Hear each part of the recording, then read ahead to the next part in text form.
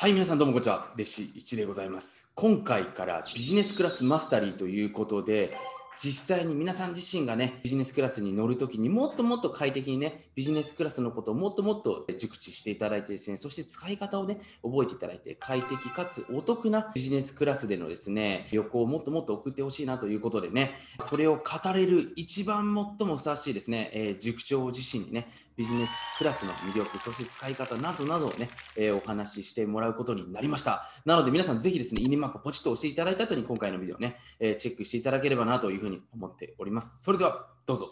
ガチゴ前にくよっよっ始まった。はい、よろしくお願いします。はい、どうも。北米関係、アメリカとか、はい。北米、カナダもそうだけど、IT 系のトラブルが飛行機あってですね、はい。管制塔がおかしくなって飛ばないとかよくあるんですよ。うん。だから一番困るのは、管制塔自由になるんですよね。はい。意味わかります？いや、ちょっとそれわかんないんで今タイプしようと思ったんですけど。うん。絶対来な来ないかもしれないですけど、はい。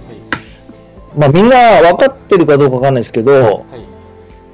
ビジネスクラスにね、まあ、そういうのが一番大事になるんだよね。遅延したりとか、はい。それから飛行機がエンドスかかったりだとか、はい。そういう時にやっぱ発揮するのがビジネスクラスだよね。その保証で買うようなもんだけど、うんうんうん。ビジネスクラスってうんみんなシートがいいと思って乗ってるけど、それだけじゃないんだよね、実はね。あ、そうなんですね。それだけだとあんまり面白くないですよね。うんうんうん。普通にシートがいいから乗りたいみたいな。食い物いいから乗りたいみたいな。食い物いいから乗りたいんだったら、普通にどっかのいいレストラン行け行けば安いよみたいな。なるほど。そうでしょ。はい。うん。まあビジネスクラスに乗るかという、その保証の部分っていうのはみんな知らないよね、結構ね。うん。ビジネスクラスに乗ったら、はい。いいシートがあって、いい食べ物があって、エコノミークラスよりね、ところしかまあ、あんまり考えてない。なんでビジネスクラスって呼ぶか分かってないんだよね。なんでビジネスクラスって呼ぶの？あこれ確か前塾長がどっかのビデオでおっしゃられてた気がしたんですけどなんかスーツをこう汚さないためのシートみたいなことをああ、ビジネスなんだ。じゃあ僕その時嘘言ってたね。あ本当ですか もしそうだとしたら。はいそうじゃないんだよね、実はね。あ違うんですか？うん。そういうの理解した上でやっぱりビジネスクラスとか乗っていかないと、で、ほら、激安激安って探すんだけど、えビジネスクラスはビジネスクラスだからね、いいんだけど、例えば N だったら P とかね、あの、P の、わかんない。P のビジネスクラスだったら僕、最近は乗らないですよ、やっぱり意味がないから。P って75でしたっけ？そうそう。あ、70かな？そうすると、あの修行なんかも考えたりしてる人見ると、まあ、あやっぱ Z とかね、うん、なってくるし、で、P はほら、アップができないから、ファーストに。そうするとちょっと、やっぱり考えちゃうよね。あれ、P アップできないって知ってました？あそれですか？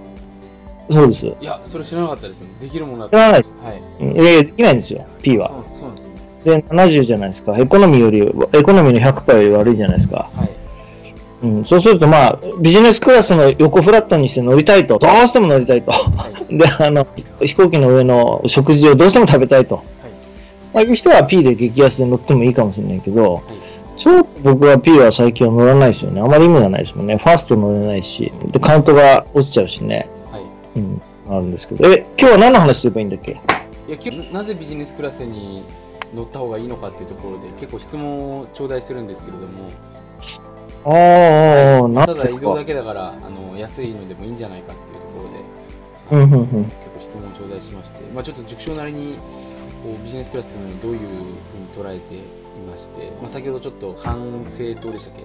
お話だったんですけど、はいうんうんちょっとその辺も含めてお話しいただければなというふうに思ってます。あ、わかりました。なぜビジネスクラスか。うん、今聞いてる人たちはあれかね、ビジネスクラスに興味あるとすれば、どういう人たちが多いような感じします？まあ、ビジネスマンが多いですよね。あ、ビジネスマンがこれ聞いてます。でも、そそうでもないですよね、多分ね。まあ、そうじゃない方も、はい、いらっしゃいますけども、なんか経営者の方とかね、はい、ビジネスクラスにちょっと、えー乗りたいよみたいな感じの人もいると思う。まあほら、えー最近は変わってきたけど、ハワイ線のビジネスクラスってわかりますでしょ？あの、一番汚い ビジネスクラスだったじゃないですか。はい、で最近はね、少しずつこう、シートも良くなってきて、本格的なビジネスクラスみたいになってきたと思いますけど、あれはなんでかわかります？ハワイ線のビジネスクラスはそうですよね。まあ、やっぱりそうじゃない。1、2年前まではもう、ほとんど倒れない、えービジネスクラスだったじゃないですか、はい席が。最近少しずつ改善されて良くなってきましたけど、はい、なんでかわかります？あれ。やっぱ使う人が増えたからってことですか？いや、ハワイ線は昔はすごかったんですよ。とんでもない量飛んでたんで。あ、そうなんですね。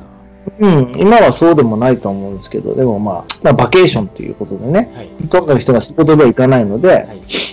まあフラ、フラットにならなくてもいいかなっていうふうな、まあ、考え方もあやったと思うんですけど、はい。それもありますけどね、最近はね、例えばヨーロッパとか北米とか行くじゃないですか、はいエコノミーガラガラなのにビジネスパンパンってあるんですよね、結構。うんみんなね、とにかくビジネスに乗りたいですね。はい。乗りたいし、乗ろうとしてるし、はい。ビジネスが結構詰まってる。昔はあんなことなかったんですけど、はい乗りたいみたいですね。これ、な、なんでかわかります？いや、ガチンコの影響ですかね。そうか。そうしときますか、じゃいや、ちょっと、自分なりの見解を教えていただきたいんですけど。あ。なるほど。時代がやっぱ変わってきて、はい。どっちかっていうと、実利もあるんですけど、はい。サービスの向上っていうのを求める人が多くなってきたんですよ。あー、なるほど。うんうんうん。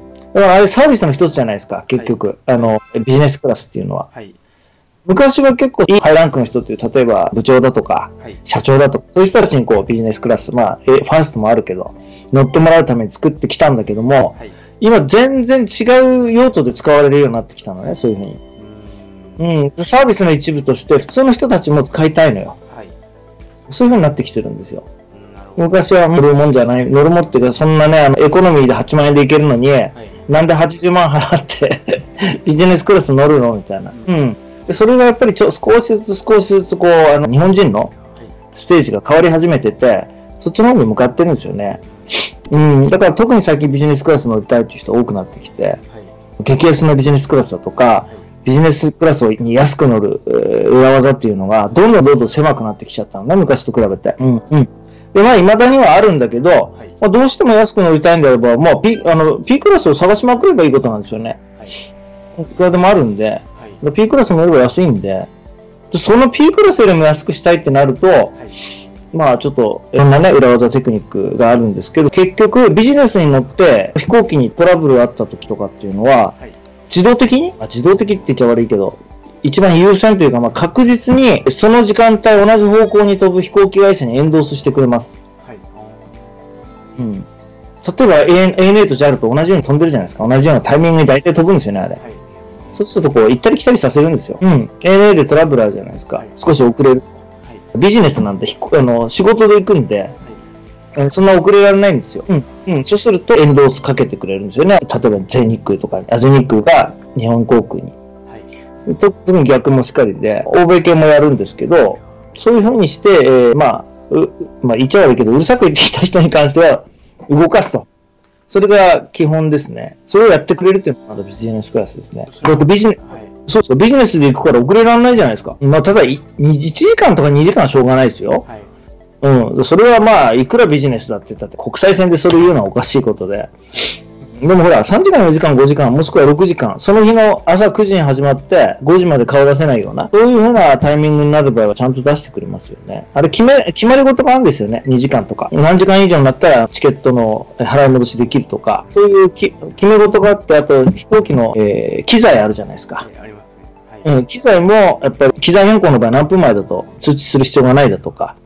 ほら、機材によってビジネスクラスのシート全然違うじゃない？うん。で、ビジネスクラス P クラス、P で安いぞってバーンと買ったけど、ビジネスクラスのシートが、な時あるんじゃない？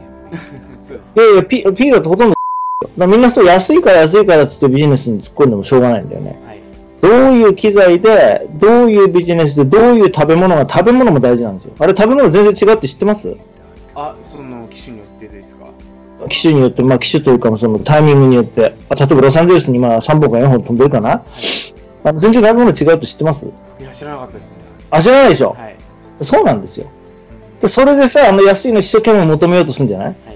そしたらもう、全然ビジネスクラスを堪能できないというか、間違ったビジネスクラスを見ちゃってることになるんですよ。うんうんうん。だから、できれば、えー安い安いで行く人は安い用の、人の用のやつは僕、教えてあげてもいいんだけど、はい。